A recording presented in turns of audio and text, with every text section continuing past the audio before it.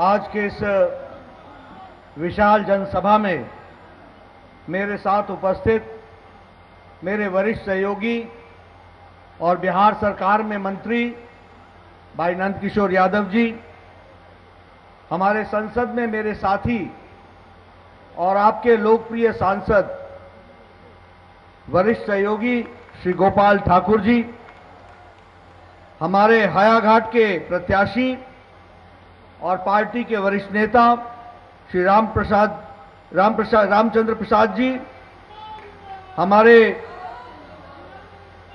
बेनीपुर के जनता दल यूनाइटेड के प्रत्याशी श्री विनय कुमार चौधरी जी, जिन्हें अजय चौधरी जी के नाम से भी हम जानते हैं, श्री जीवत सहनी जी, जिला के अध्यक्ष, भारतीय जनता पार्टी, श्रीमती धर्मशिला गुप्ता जी, प्रदेश की महामंत्री, भारतीय जनता पार्टी श्री अजीत चौधरी जी, जिला के कार्यकारी अध्यक्ष, जनता दल यूनाइटेड, हमारे सभी वरिष्ठ सहयोगी, मित्र साथीगण। सबसे पहले तो राजा जनक माँ सीता और कविराज विद्यापति के ई पावन मिथिला भूमि पर नमन करी छी ज्ञान धान पान, मखान समृद्धि, गौरवशाली धरती पर अपन सबके अभिनंदन करै छी।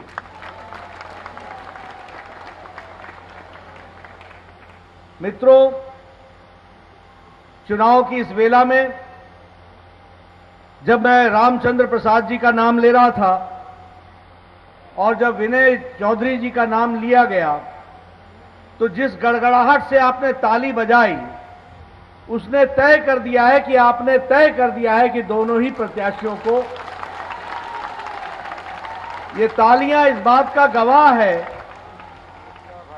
ये प्यार इस बात का गवाह है कि आपने तय कर लिया है कि आने वाले चुनाव में सात तारीख को आप दोनों को, विनय जी को भी और रामचंद्र जी को भी आप भारी मतों से भेजेंगे पटना विधानसभा में। मित्रों, ये चुनाव सिर्फ़ प्रत्याशी का ही नहीं है। ये चुनाव बिहार के भविष्य का है। हम कैसा बिहार देखना चाह रहे हैं? हम बिहार को कहाँ ले जाना चाह रहे हैं?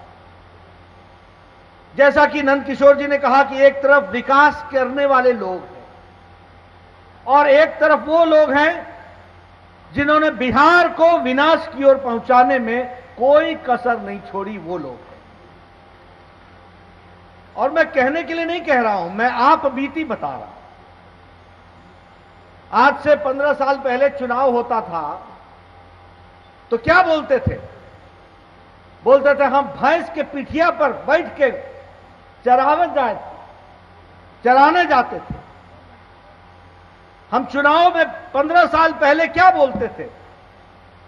तेल पिलावन और लाठी भाजन। करते थे कि नहीं करते थे? हाँ या ना? पीछे के लोगों से सुनना चाहता हूँ, कहते थे कि नहीं? लालू जी ने लाठी भांजन रैली बुलाई थी कि नहीं बुलाई थी? आज ये बोलते हैं, हम कानून का राज लाएँगे। जब कानून का राज था तो लाठी, तेल पिलावन और लठिया भांजन। तब लाठी भांजते थे।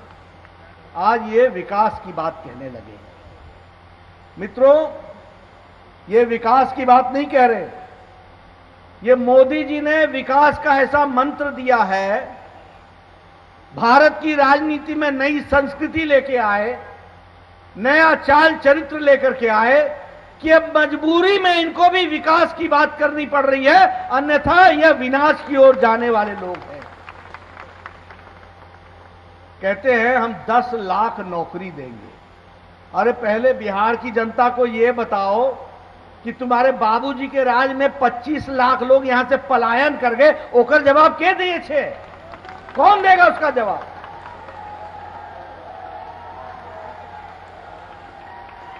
और लालू जी क्या कहते थे? कि हमारा बिहार का आदमी अंगोछा पहन के जाता है, और गंजी लगा के जाता है, और पैंट सूट पहन के आता है। इसमें आपकी क्या इज़्ज़त थी?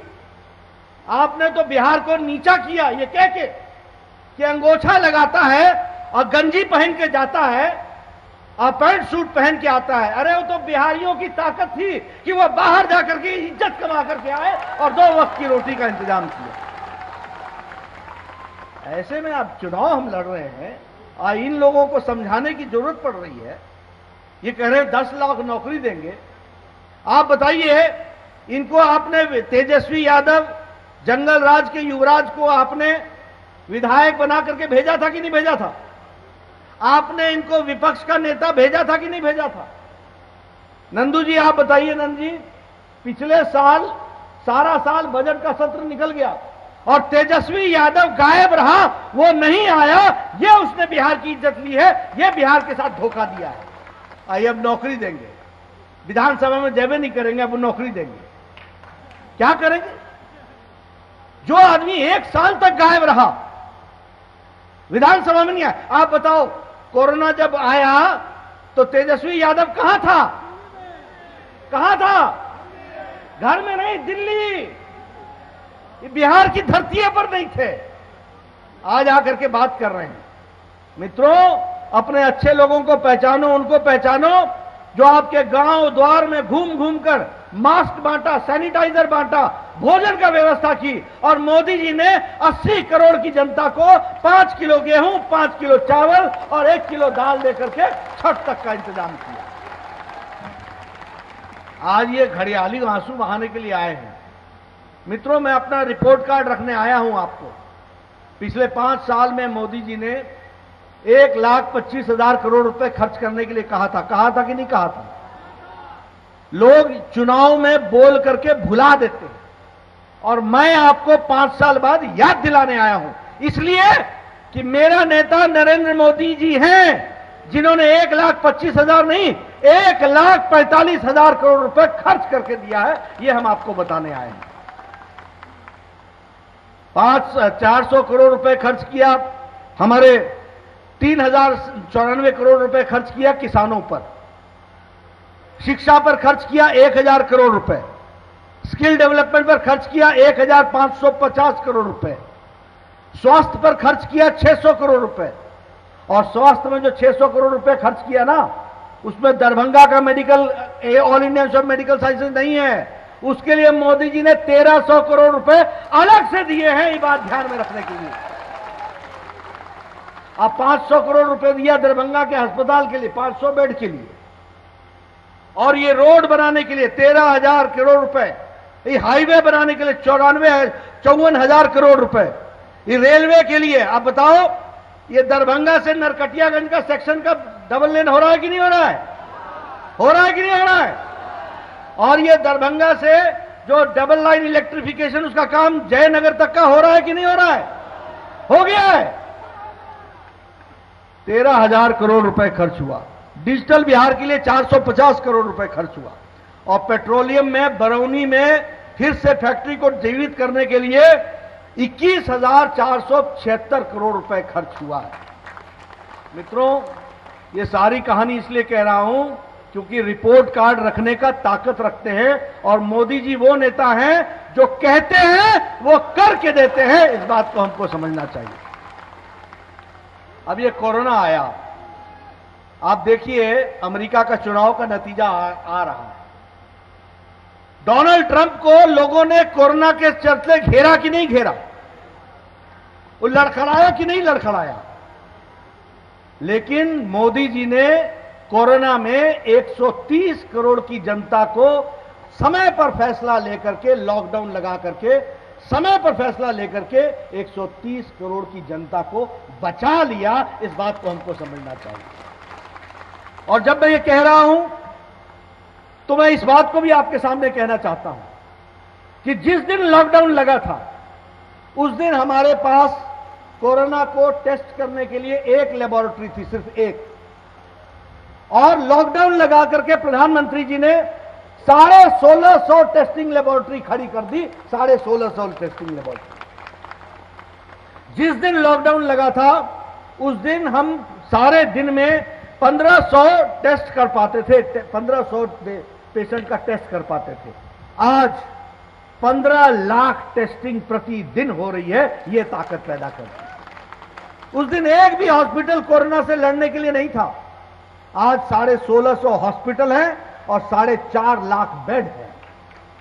उस समय एक भी वेंटिलेटर भारत नहीं बनाता था।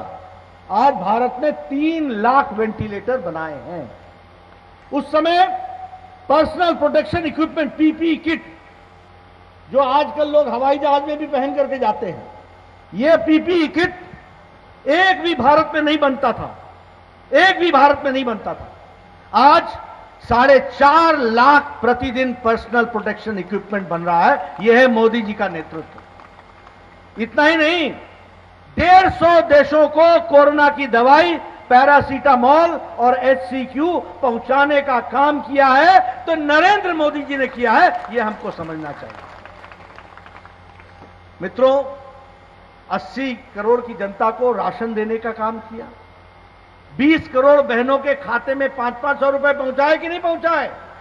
बहने बताए, पहुँचाए कि नहीं पहुँचाए? ये जब मोदी जी जनधन खाता खोल रहे थे तो सब लोगों ने कहा कि मोदी जी क्या बोल रहे हैं? लाल किला के प्राचीर से खड़े होकर के खाता खुलवा रहे हैं। अरे मित्रों, ये वही खाता है, जनधन खाता, जो लॉकडाउन के समय में न पोस्टमैन न पोस्ट ऑफ़िस न मनी ऑर्डर सीधे बहन के खाते में 20 करोड़ बहनों के खाते में पंद्रह सौ रुपए पहुँचाया गया।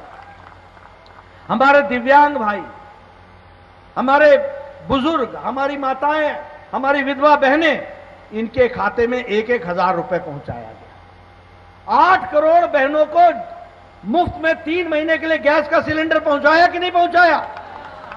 प्रधानमंत्री गरीब कल्याण पैकेज में एक लाख पचहत्तर हज़ार करोड़ रुपए पहुँचाए। और नीतीश बाबू ने एक करोड़ बयालीस लाख जो राशन होल्डर थे, उनको एक एक हज़ार रुपए पहुँचाया कि नहीं पहुँचाया? ये काम किसने किया? ये एनडीए की सरकार ने किया। आत्मनिर्भर भारत।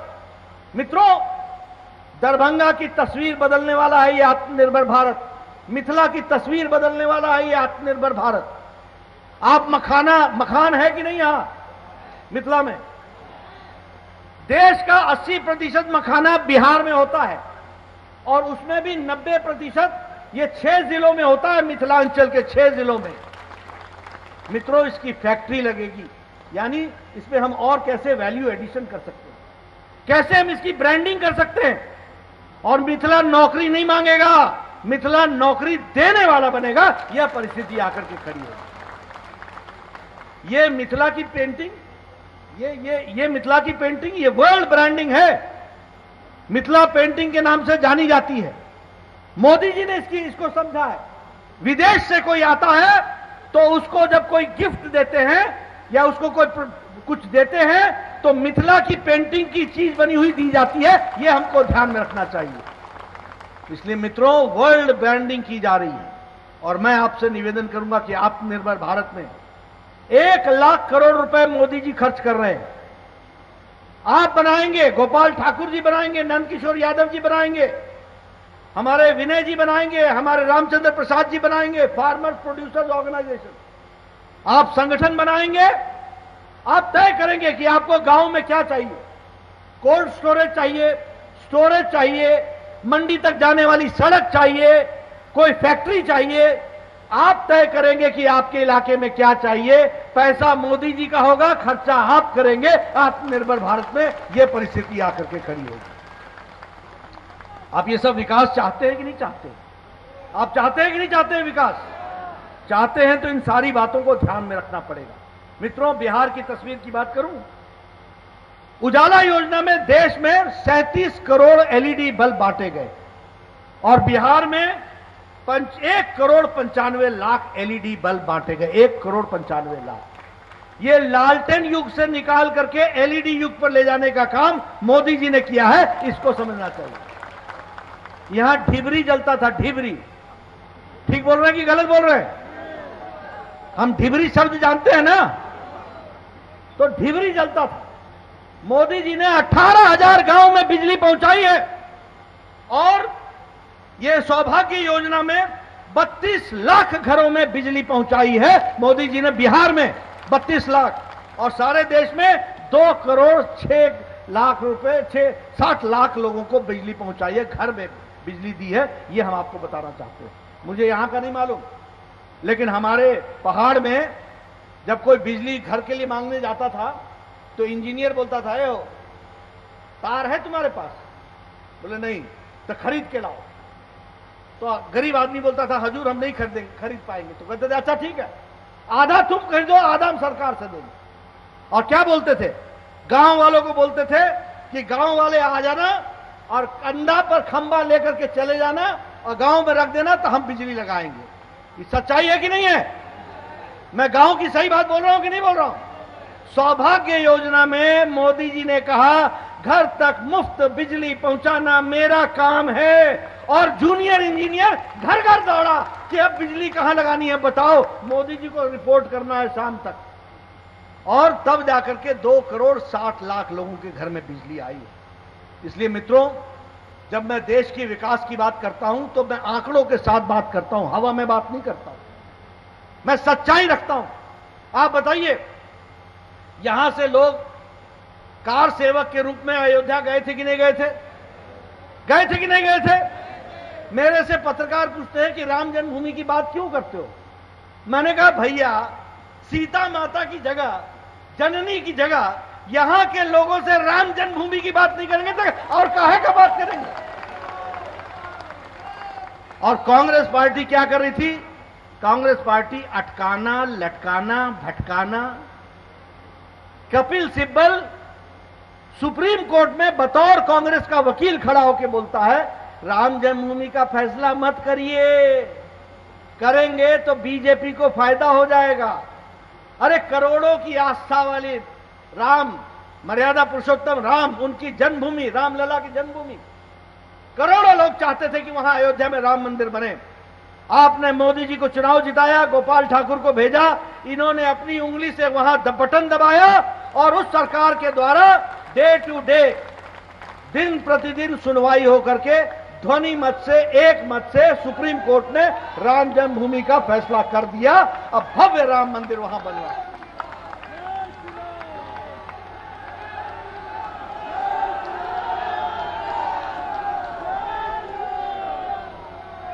और फिर हम सब लोग यहाँ पर नारा लगाते थे कि नहीं लगाते थे? एक देश में दो निशान, दो विधान, दो संविधान नहीं चलेगा। यहाँ से लोग लाल चौक गए थे कि नहीं गए थे? एकता यात्रा में गए थे कि नहीं गए थे? झंडा फहराया था कि नहीं फहराया था? मुरली मनोहर जोशी जी के साथ और नरेंद्र मोदी जी के साथ। आपने सरकार बनाई, आपने अपनी उंगली से कमल का निशान दबाया, आपने जदयू का उंगली से दबाया और इन लोगों ने, गोपाल ठाकुर जी ने और बाकी लोगों ने मिलके 6 अगस्त 2019 को अपनी उंगली से पार्लियामेंट में बटन दबाकर धारा 370 को धाराशाही कर दिया, ये हम लोगों ने कर दिया। इसलिए मित्रों इसलिए मित्रों, जब हम इन सारी बातों को रखते हैं तो हम लोगों को यह बताना चाहते हैं कि भारतीय जनता पार्टी एनडीए की सरकार जो कहती है, मोदी जी के नेतृत्व में उसको करके देती है यह हम आपको बताना चाहते हैं। मित्रों, अब आप इनकी बात ले लीजिए, जो हमारे चुनाव में लोग खड़े हुए हैं। क्या है ये? क्या ये सच्चाई नहीं है कि पंद्रह साल पहले पाँच बजे के बाद शाम को निकलना मुश्किल होता था? सच्चाई है कि नहीं है? अब ये बोलते हैं कि तुम पंद्रह साल पहले क्यों याद दिला रहे हो? मैं इसलिए याद दिला रहा हूँ कि रस्सी जल गई, ऐठन नहीं गई है, बल नहीं गया है। अभी भी वही है। कोई डॉक्टर, यहाँ अपहरण उद्योग, डॉक्टर डॉक्टरी नहीं कर सकता था। इंजीनियर सड़क नहीं बना सकता था। ठेकेदार ठेकेदारी नहीं कर सकता था। क्या था? रंगदारी, रंगबाजी, लूट, खसोट, यही था उस समय। आपको शाहबुद्दीन याद है ना? शाहबुद्दीन याद है? पीछे वालों को याद है? लालू के राज में जेल से छूट गया? और नीतीश बाबू के राज में फिर अंदर चला गया? आज का डीजीपी, इसको शहाबुद्दीन ने 30 किलोमीटर तक दौड़ाया था, थाने में जाकर के इसने शरण ली थी। और इसको गोली लगी थी। कहाँ पहुँचा दिया था कानून तुमने? बिहार की जनता से माफ़ी मांगो और राष्ट्रीय जनता दल अराजक दल हो गया अराजकता फैलाई। बिहार की जनता से माफ़ी मांगनी पड़ेगी आपको, जो आपने कारनामे किए हैं। आप बताइए, गोपालगंज का डीएम, कृष्णैया, दलित डीएम था। लोग भूल जाते हैं, मैं याद दिलाने आता हूँ। दलित डीएम था। गाड़ी से घसीट के जान लेनी थी उसकी। लालू जी मुख्यमंत्री होते थे। ये अराजक पार्टी और किससे मिल गई? माले से। जिसका विध्वंस विचार ही विध्वंस का है। बोलो, पिपरा कांड हुआ था कि नहीं हुआ था? बोलो, इछरी कांड हुआ था कि नहीं हुआ था? ये मिल गए। अब पता नहीं कौन किसके गोदी में बैठा है। युवराज बैठा है बाले के गोदी में या माला बैठ माले बैठा है, अराजक पार्टी के गोदी में? और इन पे और और जुड़ गए वो राहुल गांधी बाबू। कांग्रेस पार्टी, जिसको ये पता ही नहीं चलता कि वह मोदी जी का विरोध करते करते देश का विरोध करने लग गए। पाकिस्तान राहुल गांधी की दलील को लेकर के संयुक्त राष्ट्र में जाता है, धारा 370 के खिलाफ बोलने। यह है हमारे राष्ट्रभक्त। यह शशि थरूर लाहौर के मंच पर भारत को गाली देता है और पाकिस्तान की तारीफ़ करता है। यह मणिशंकर अय्यर यह लाहौर में जाकर के बोलता है कि मोदी जी को हटाओ भारत में मोदी जी को हटाने के लिए पाकिस्तान को बोलता है। क्या क्या हालत हो गई है? क्या स्थिति ला करके खड़ी हुई है? पूर्व गृह मंत्री पी चिदम्बरम बोलता है, मैं धारा 370 समाप्त कर दूँगा। धारा 370 समाप्त होगी? होगी। मित्रों, देश को एक देश में एक निशान, एक विधान, एक प्रधान, एक संविधान, ये मोदी जी ने करके दिखाया है। इसको हमको समझ करके रखना पड़ेगा। इसलिए मित्रों, लालटेन युग से निकलकर, एलईडी युग, लालटेन युग से निकलकर एलईडी युग की तरफ़ हम जा रहे हैं। बाहुबली से निकल करके विकास बल की बल की ओर जा रहे हैं। लूट राज से निकल करके डीबीटी पर जा रहे हैं, जो खाता में सीधे बहनों के पैसा पहुँच रहा है यह व्यवस्था कर रहे हैं। मित्रों, अब स्वामित्व योजना लेकर के मोदी जी आए हैं। अब कोई झगड़ा नहीं होगा, सैटेलाइट से सबके मकान की तस्वीर खींची जाएगी। किसका घर कितना इंच, कितना कितना फीट, कितना चौड़ा, कितना बड़ा, और वो उसको कार्ड मिलेगा, और वो कार्ड उसका प्रमाण हो जाएगा कि आपकी प्रॉपर्टी का अधिकार ये है। बैंक भी आपको लोन उसी प्रॉपर्टी के आधार पर देगा, उस कार्ड के आधार पर। कहाँ पहुँच गया भारत मोदी जी के नेतृत्व मुझे स्वास्थ्य मंत्री बनने का मौका मिला। अरे गौरव से कहता हूँ मैं मोदी जी ने आयुष्मान भारत शुरू किया। 12 करोड़ चौहत्तर लाख परिवार, यानी 55 करोड़ लोग। 55 करोड़ का मतलब हो गया सारा अमेरिका, सारा कनाडा और सारा मेक्सिको। ये सारी जनसंख्या मिला लो तो भारत का आयुष्मान भारत बनता है, ये समझना चाहिए। और कौन है आयुष्मान भारत में? रेड़ी वाला, फेड़ी वाला, रिक्शा वाला, चाय वाला, ठेला वाला, गरीब। गंभीर बीमारियों, दो हज़ार दो सौ सत्ताईस गंभीर बीमारियों के इलाज के लिए सालाना पाँच लाख रुपए का इंतज़ाम मोदी जी ने करके दिया है। यह हमको ध्यान में रखना चाहिए। और लगभग सवा करोड़ की जनता ने इसका लाभ उठा लिया। साढ़े पंद्रह हज़ार करोड़ रुपए खर्च हो गए यह हमारा आयुष्मान भारत जिसको हमको ध्यान में रखना चाहिए और जिसकी बातों को हमको समझ करके, ध्यान में रख करके आगे बढ़ना चाहिए। आप बताइए, यहाँ दरभंगा की बात करो, आप बोलोगे कि कहाँ कहाँ की बात करो, मैं दरभंगा की बात करता हूँ। आप बताइए, एम्स मिला कि नहीं मिला? गोपाल जी, पहुँच गया एम्स। मोदी जी ने कैबिनेट में फैसला करके दिया। साढ़े तेरह सौ करोड़ रुपए का, साढ़े तेरह सौ करोड़ रुपए तो खर्च होंगे एक बार में। सालाना 500 करोड़ रुपए खर्च होगा, हर साल 500 करोड़ रुपए खर्च होगा। अब आने वाले पाँच सात साल में आपको पटना, दिल्ली नहीं जाना पड़ेगा। आपका इलाज सबका ही हो। वैसे भगवान करे सब स्वस्थ रहे, लेकिन फिर भी इलाज की ज़रूरत पड़ेगी तो इलाज होगा। आप बताइए, दरभंगा जयनगर का काम हो गया कि नहीं हो गया? आप बताइए, दरभंगा नरकटियागंज सेक्शन का काम हो गया कि नहीं हो गया? आप बताइए, अंत्योदय एक्सप्रेस दरभंगा से काशी चल पड़ी कि नहीं? आप बताइए, दरभंगा का समस्तीपुर तक डबल लेन का काम चल पड़ा कि नहीं चल पड़ा? एक हज़ार छह सौ बारह करोड़ रुपए खर्च हो रहे हैं। उसी तरीके से यही दरभंगा शहर में छह फ्लाईओवर बन रहे हैं कि नहीं बन रहे मित्रों, विकास की एक नई कहानी लिखी जा रही है। और यहाँ ये जो पोखर है, यहाँ मछली पालन का मत्स्य का काम होगा। एक सौ बहत्तर करोड़ रुपए मोदी जी ने मत्स्य पालन के लिए बिहार को दिया है यह हमको ध्यान में रखना चाहिए। इसलिए मित्रों, मैं एक ही बात कहना चाहता हूँ कि हमारी इस यात्रा को आगे ले जाने वाले रामचंद्र प्रसाद जी, इस यात्रा को आगे ले जाने वाले हमारे अजय विनय चौधरी जी, इनको भरपूर समर्थन आपका मिलना चाहिए। और जनता दल यूनाइटेड, हम पार्टी और वीआईपी पार्टी और बीजेपी चारों के कैंडिडेट को जिता करके हमको भेजना है। इस बात को लेकर के हम चले, ये मैं निवेदन करना चाहता हूँ। मैं ये जानता हूँ, मैं ये जानता हूँ कि आपका वोट हमको मिलेगा। लेकिन मैं सिर्फ़ आपका वोट लेने नहीं आया हूँ। आपके गाँव का, आपके रिश्तेदारों का, आपके भाइयों का, आपके बहनों का, आपके चाचा का, आपके ताए का, सबको समझाइए कि बिहार को विकास की ओर ले जाना है तो एनडीए के साथ देना होगा और आगे कहानी बढ़ानी पड़ेगी, ये हमको काम करना पड़ेगा। मुझे पूरा विश्वास है कि आप इन सारी बातों को समझते हुए बिहार की जनता बड़ी जागरूक है, सब बात जानती है हाथी के दांत दिखाने का और है, खाने के और है, ये किसकी, किस पर सही उतरता है? ये उतरता है राजद पर। ये उतरता है माले पर। ये उतरता है कांग्रेस पार्टी पर। सब कोई, ये सारे युवराज आजकल इकट्ठे हो गए हैं, सारे युवराज। बेरोजगार हो गए सब।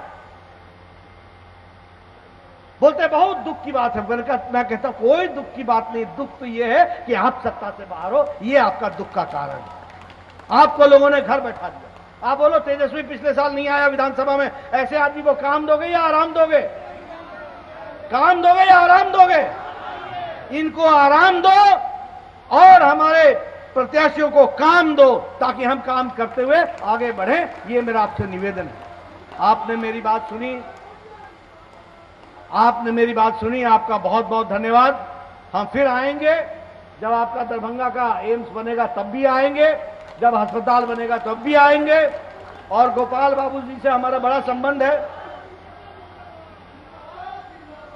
गो, गोपाल बाबू से हमारा बहुत गहरा संबंध है। इनका फ़ोन आता है तो हम समझ जाते हैं गोपाल बाबू कोनो काम तो ज़रूर आया है। या तो सड़क है या अस्पताल है ये कुछ ना कुछ तो है ही है। गोपाल बाबू दिन रात आपके लिए काम करते हैं। ये आपको मैं बताना चाहता हूँ ये आपको और मुझे पूरा विश्वास है कि नंदू जी के साथ हमारे जो दोनों प्रत्याशी हैं, अगले पाँच साल पूरी ताकत के साथ काम करेंगे और यहाँ की तस्वीर बदल के दिखाएँगे। इन्हीं शब्दों के साथ बहुत बहुत धन्यवाद। जय भारत, जय बिहार, जय मिथिला।